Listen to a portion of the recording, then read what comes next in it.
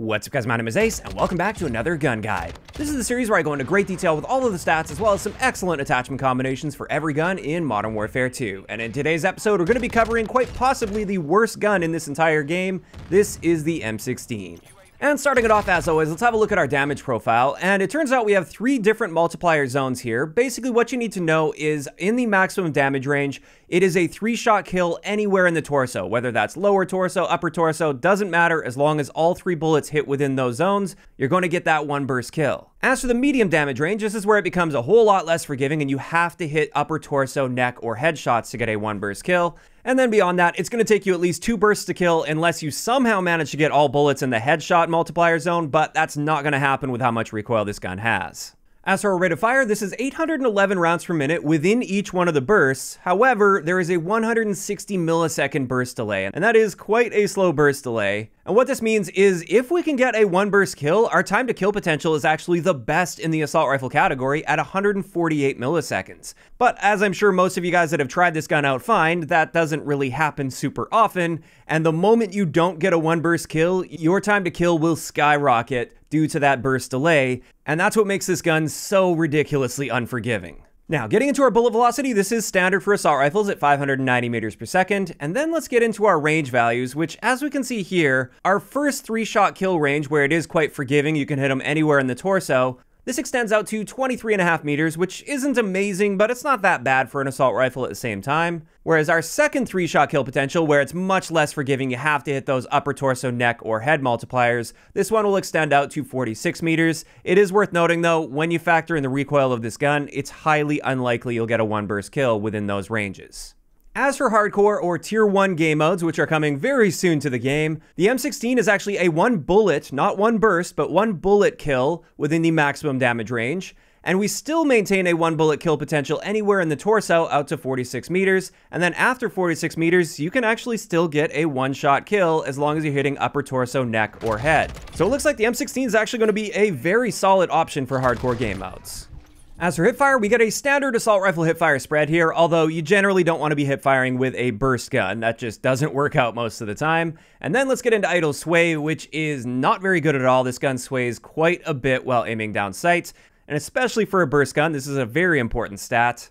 And now let's move on to recoil. And the M16 has way more recoil than it has any business having, especially with that long burst delay. Your gun will climb quite quickly, and most importantly, when we look at a single burst, I did a couple single burst plots there, you can see those bursts themselves are not very tight. And when you're trying to land all of those bullets within an upper torso zone, or even just a torso zone on a moving target, that becomes quite difficult to do consistently. Now, let's move into the handling department, and the M16 has the worst aim down sight time out of any of the assault rifles at 290 milliseconds. Our sprint to fire time is pretty standard for an assault rifle though at 210 milliseconds, and then getting into our reload ad time, this is actually quite fast for an assault rifle at 1.33 seconds. So this is, I think, the one area that this gun is good at, is reloading. But finally for our base stats, let's move into mobility, and once again, the M16 is just really good at being the worst assault rifle in the game because it also has the slowest movement speeds out of any of the assault rifles in the game. So there we go, those are the base stats of the M16, but I did want to cover the barrel attachments as well, and let's have a look at barrel ranges to start this off. And as you can see here, every single one of the barrels on the M16 will reduce our damage range, although to varying degrees. This ranges from a 7.5% reduction to our damage range all the way up to a 20% reduction to our damage ranges. And now let's have a look at how these barrels impact our recoil, and we're going to start this off with full magazine recoil plots. And you can see that there are some changes there, like the Demo 501 has more vertical recoil, but it doesn't seem to deviate as much horizontally in doing that, so that actually doesn't seem that bad. But more importantly, I wanted to get into the single burst comparison, because this is what really matters with a burst gun, is how effectively you can land all three bullets in a single burst on target, especially within a certain body multiplier. And as we can see here with the testing, the most consistent option seems to be the Demo 501 Factory, which if we remember from the previous plot, this one does seem to allow the vertical magnitude to increase, so it doesn't cap out at its maximum magnitude as easily. And when you look at the cons of this, it says it harms our recoil control, but we don't really care about how much the gun climbs with consecutive bursts. It's much more important to have a consistent burst of bullets coming out of the gun, and therefore this actually appears to be the best out of all of them for recoil. Finally, for barrels though, I did want to look at how these impact our aim down sight time, keeping in mind these are hand-tested stats.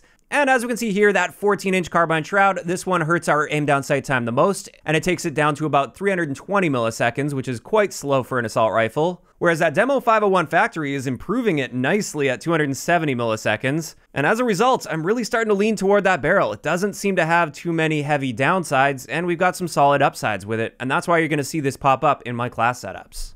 And speaking of class setups, it's finally time to move into a couple that I've got for you guys. Although a big disclaimer with this particular episode, these class setups aren't going to suddenly turn this into a good gun. The M16, at least in its current state for core game modes, is a bad gun no matter how you look at it and no matter how you build it.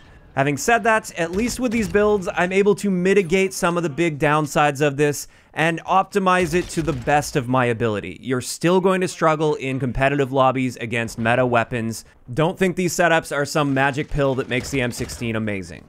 But the first one I've got for you guys is just my burst build because I also like running this in semi-auto. But with this, essentially what I did is I just optimized for the most accurate single burst possible. And unfortunately, it doesn't get like super pinpoint accurate like I was hoping, but this is as good as it gets when it comes to accuracy, at least without tuning, which I don't usually include in these episodes. But with this, our aim down sight speed is actually managed fairly well. It's only 15 milliseconds slower, which is reasonable at least especially when you're stacking heavy for recoil control. And as we can see there, our new recoil is noticeably better than the base recoil with both one bursts as well as with multiple bursts when we're firing that. So it will help a little bit at least with that one burst kill consistency, but at the end of the day, it's still not like a pinpoint accurate gun, and you're going to struggle at mid to longer ranges.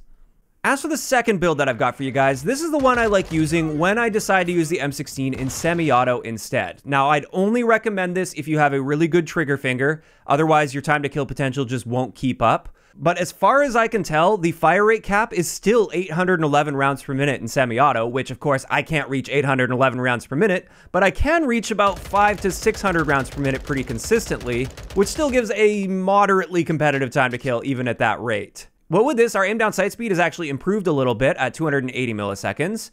Our recoil is totally different, but that's because we're firing it in semi-auto rather than burst mode, so it doesn't have time to recenter after a burst. Generally speaking, though, using this in semi-auto, you're still going to be quite accurate, and you can control that recoil a lot more effectively. And like I said, this is just how I would prefer to run this if I'm going semi-auto. If I'm really sick of those bursts and they're just not landing well, I'll swap over to this, pop it in semi-auto mode, and do my best to hold it together from there. And with that, that's finally to wrap it up for today's gun guide on the M16. As for my thoughts on this gun, I think you could probably kind of tell throughout the video, it sucks. It's one of the worst guns in the entire game. I absolutely hate using it. However, I don't think it would need much for it to end up being in a good place. Normally with burst guns, there's two different styles that you go for in Call of Duty. There's either the really accurate, precise, but kind of slow handling and, and long burst delay sort of a burst gun, Whereas on the other end of that, you can have a much less accurate but shorter burst delay sort of a, a burst weapon that is designed to be spammed a little bit more. The M16's caught in kind of a weird place where it seems like it has all of the downsides of that first type of burst gun that I talked about without the precision, that one upside that it's supposed to have. Honestly, if they just tightened up the recoil within each burst quite noticeably, I think the M16 would be in a good place where it's not very forgiving, but at least if you have a really good, precise point of aim on target, you're going to be getting one burst kills consistently. If you don't have that, then you'll be punished with that long burst delay. That seems totally fair and balanced to me. I feel like that's honestly all they would need to do the M16 to make it at least viable in the game, because in its current state, I would hardly even call it a viable weapon. Now, of course, those are just my opinions on the M16. I'm really curious to hear what you guys think about this, though, in the comments down below. If you enjoyed the video, a like rating is always appreciated, and don't forget to subscribe for more if you haven't already. I'll talk to you guys next time.